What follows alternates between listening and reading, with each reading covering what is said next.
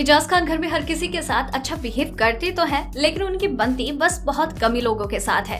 ऐसे में जान और उनके बाकी दोस्त मिलकर एजाज को टोट करते हुए दिखाई दिए। जी हाँ दरअसल अली गुनी शुरुआत करते हैं और बोलते हैं कि एजाज भाई कुछ गाते हैं तो समझ नहीं आता है, अलग टाइप का सुर लगाते हैं। तो यहाँ पर राहुल वैद्या कहते हैं कि शायद ऐसा होता होगा कई बार कि एजाज भाई कुछ बोल देते होंगे और उनको खुद को ही समझ नहीं आता कि वो क्या बोल देते हैं। वो खुद बोलते हैं और फिर दूसरी साइड से इन्हीं की आत्मा बोलती है कि भाई दोबारा बोलना समझ नहीं आया।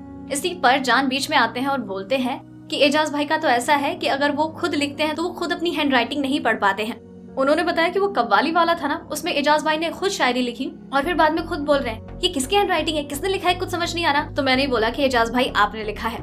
और फिर एजाज भाई ने खुद की हैंड राइटिंग पढ़ने में पाँच मिनट का वक्त लिया। Can you imagine that Ejaz भाई इतना कमाल करते हैं। और एजाज कहते हैं कि यार क्या बात है। कभी कभी हो जाता है हड़बड़ी में तो नहीं आता है। It's okay okay. और इस तरीके से अली, राहुल और जान मिलकर खूब मस्ती मज़ाक करते हुए दिखाई देते हैं एजाज के ऊपर।